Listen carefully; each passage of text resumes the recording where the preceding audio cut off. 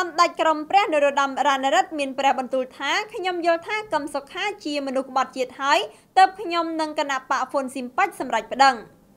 សម្ដេចក្រមព្រះនរោត្តមរណរដ្ឋព្រះប្រធានគណៈបកហ្វុនសំពេចបានប្រកាសប្រឆាំងដាច់ខាតចំពោះជនទាំងឡាយដែលព្យាយាមមកបំផ្លិចបំផ្លាញជាតិនិងសន្តិភាពរបស់ប្រទេសកម្ពុជាដោយព្រះអង្គមានព្រះបន្ទូលថាខ្ញុំយល់ថាកឹមសុខាជាមនុស្សក្បត់ជាតិហើយទើបខ្ញុំនិងគណៈបកហ្វុនសំពេចសម្រេចប្តឹងការអះអាងជាមួយនឹងព្រះបន្ទូលខាងលើនេះបានធ្វើឡើងនៅក្នុងកិច្ចសម្ភាសផ្ដាច់មុខជាមួយនឹងលោកលឹមជីវថាអគ្គនាយកបណ្ដាញសារព័ត៌មាន Fresh News នៅឯព្រះរាជដំណាក់សម្ដេចក្រមព្រះនាបរិយទន្លេបាសាក់រាជធានីភ្នំពេញនៅថ្ងៃទី20ខែតុលាឆ្នាំ2017ពាក់ព័ន្ធទៅនឹងស្ថានភាពនយោបាយក្នុងប្រទេសកម្ពុជានៅក្នុងកិច្ចសម្ភារនោះសម្ដេចក្រមព្រះបានថ្លែងការពីបណ្ដឹងរបស់ទ្រង់ដែលបានប្តឹងឲ្យរំលាយគណៈបកសង្គ្រោះជាតិហើយចាត់ទុកថាទង្វើរបស់លោកកឹមសុខានិងគណៈបកសង្គ្រោះជាតិខុសពីព្រះរាជបំណងសម្ដេចតាហើយអាចនាំឲ្យកម្ពុជាជួបគ្រោះថ្នាក់ជាថ្មីជាមួយនឹងការលើកឡើងបែបនេះសម្ដេចក្រមព្រះនរោត្តមរណរដ្ឋបានប្រកាសប្រឆាំងដាច់ខាតចំពោះបរទេសនិងជនទាំងឡាយដែលចង់មកបំផ្លាញជាតិកម្ពុជាសម្ដេចក្រមព្រះបានមានព្រះបន្ទូលយ៉ាងដូចនេះថា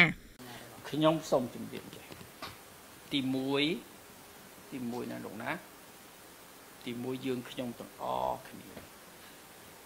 គឺឈរលើទិសដៅមួយយើងជាអ្នក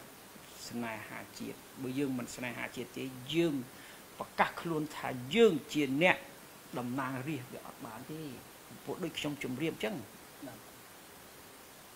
អ្នកអស់លោកទាំងអស់គ្នារាជ ស្ដេចតែខ្ញុំម្នាក់ឯងទេសំណាងណាកើតមកជាស្ដេចហ្នឹងប៉ុន្តែកុំភ្លេចម្ចាស់ទឹកម្ចាស់ដីគឺក្មួយទាំងអស់គ្នាអស់លោកទាំងអស់គ្នាហើយក្មួយទាំងអស់គ្នាទី1ទី2ខ្ញុំសូមជម្រាបថាយើងមានសិទ្ធិអាយដាមទាំងអស់គ្នាសិទ្ធិឈរលើច្បាប់អូខេខ្ញុំនឹងថាអីអាយដាមឈរលើច្បាប់ហើយព្រោះត្រូវលោក យឹមសាវីផ្ញើឲ្យខ្ញុំទៀតខ្ញុំមើលសិនទំរាំតែដាក់ទៅខ្ញុំថាដាក់ទៅយើងមិនដាច់ទៅមើលអីច្រើនពេកអីមើលអីច្រើនពេកណារួចពីនឹងទៅខ្ញុំអត់ឆ្លើយទេលោកមានប្រសាសន៍ថារាជគេថាអីហ្នឹងតំណាងរាជត្រូវរាជចង់បានអីយើងធ្វើតាមទៅបើរាជថាអស់លោកឈប់ ញញឹមហើយថាគេធ្វើត្រូវគេធ្វើត្រូវទៅជាអា3នាក់នោះធ្វើត្រូវទៅវិញអាឯងណែរះគេបោះឆ្នោតឲ្យថាខុសទៅវិញហេហេហេហេទី1ច្បាប់ទី2ទី1រះទី2ច្បាប់ទី3ក៏ត្រូវសើចមានបានឃើញគាត់ញឹមទេមានបានឃើញទេ មានបានឃើញទេខ្ញុំមិនសូវមើលទេដល់មើលឃើញថាតែពេលនេះញឹមអីអត់ជប់សោះចឹងកឹមសុខាណែបានតែខ្ញុំជំរាបខ្ញុំថាឆ្លើយទៅប៉ុន្តែឆ្លើយចុះចង់បានមែនបើរះទាំងអស់គ្នាគេនិយាយថាលោកនឹងក្បត់ជាតិខ្ញុំក៏បើខ្ញុំយើងខ្ញុំទាំងអស់គ្នាមិនយល់ថាលោកកឹមសុខា ជាមនុស្សក្បត់ជាតិទេយើងចោលប្តឹងដោយសារយើងខ្ញុំប្តឹងដោយសារតែយើងខ្ញុំយល់ថាលោកកឹមសុខាជាគាត់ក្បត់ជាតិហើយប្រឆាំងគាត់ប្រឆាំងនឹងគាត់ជាតំណាងរាជហើយប៉ុន្តែគាត់ប្រឆាំងនឹងមាត្រាថ្មី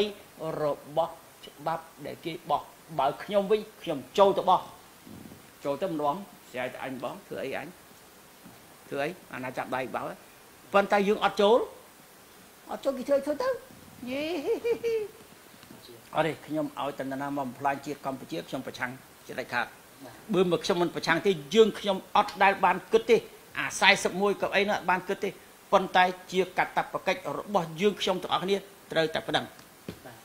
សូមបញ្ជាក់ថាគណៈបកហ្វុនសំពេចរបស់សម្ដេចក្រមព្រះនរោត្តមរណរដ្ឋគឺជាម្ចាស់បណ្ដឹងមួយក្នុងចំណោមគណៈបកពីរដែលបានដាក់ពាក្យប្តឹងក្រសួងមហាផ្ទៃស្នើឲ្យរំលាយគណៈបកសង្គ្រោះជាតិដោយចោទថាគណៈបកប្រឆាំងនេះបានខុបខិតជាមួយនឹងបរទេសក្បត់ជាតិរបស់កម្ពុជាក្រោយទទួលបានពាក្យបណ្ដឹងពីគណៈបកទាំងនោះនៅថ្ងៃទី6ខែតុលាឆ្នាំ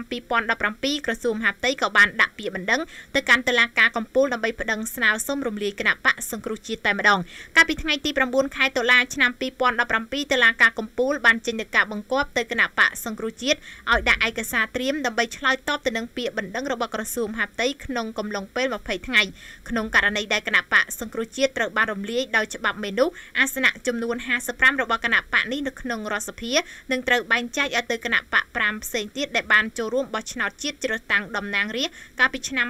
2013ដែលក្នុងនោះគណៈបកហ្វុនសំពេចត្រូវបានគេកណនាថានឹងទទួលបាន41អាសនៈ ពីការរំលាយគណៈបកប្រឆាំងនេះឧបត្ថម្ភធំដោយ website កំសាន្តអនឡាញលំដាប់ពិភពលោកដែលផ្ដល់ជូនហាងឆេងល្អបំផុត មាននៅ 188az.com Safe Home Technology ការពារសុវត្ថិភាពលោកអ្នកជាមួយកាមេរ៉ាសុវត្ថិភាពតាមរថយន្តគេហដ្ឋាននិងការិយាល័យ